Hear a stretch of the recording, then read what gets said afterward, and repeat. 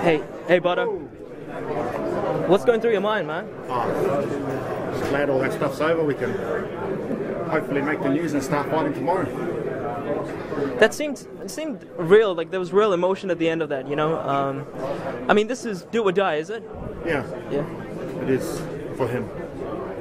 Yeah. And I mean, yeah, there. 15 grand, right? I mean, he did win the lotto, right? Twenty grand for him. Yeah, yeah. I don't. Yeah, I don't get anything. If you knock him out, do you get anything? I get. I'm not even fighting, but it's not about the money for me. It's about redemption. Just real quickly, what's going to happen tomorrow, Dave? I will be willing to fight. Yeah. Kill Dave.